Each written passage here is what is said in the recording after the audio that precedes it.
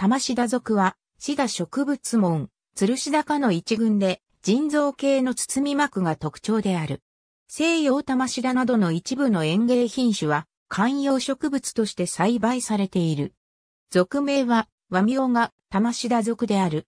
学名は、ネフロレピスネフロレピスと言い、ギリシア語で腎臓を意味するネ、フロスと鱗片を意味するレピスの2語を組み合わせて名付けられたもので、包み膜が腎臓系であることに由来している。地性、または樹状や岩の上に生えるシダ植物。根茎は短くて直立し、鱗片をつける。普通は根茎から匍匐枝を伸ばして、随所から根を出して、ところどころに小株を作る。玉シダのように、匍匐枝に鱗片に覆われた開根をつける種もある。葉は根茎から創生して多数つける。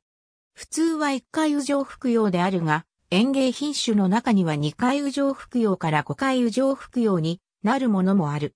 葉の右辺と中軸の間に関節があるため、葉が古くなると、右辺だけが落ち、中軸だけが残る。鑑賞価値の高いものが多くあり、観葉植物として栽培される。園芸品種として作出された種も多く、褒美漢樹の園芸品種、フルカンス、玉シダの園芸品種、ダッフィー、ペチコート、西洋玉シダの園芸品種、ボストニエンシス、マーシャリー、テディジュニアなどがよく知られる。栽培では、猪本相続とほぼ同じく、やや明るい日陰を好む性質で、直射日光に当てないようにする注意を要する。栽培適温は15度から20度程度の範囲が最適と言われている。越冬は5度から8度程度が必要であるが、玉シダは寒さに強く凍らせなければ越冬できる。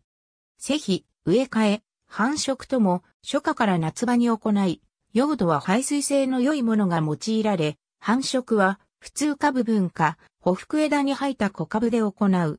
右辺が色あせて落葉し始める頃に、中軸を残さないように傭兵の部分が切り取られて手入れされる。この属のものは世界の熱帯から亜熱帯にかけて約30種ほどあり、日本にも玉シダなど3種が知られている。ABCDEFGHIJKLMN 大戸橋豊1992 P108 ありがとうございます。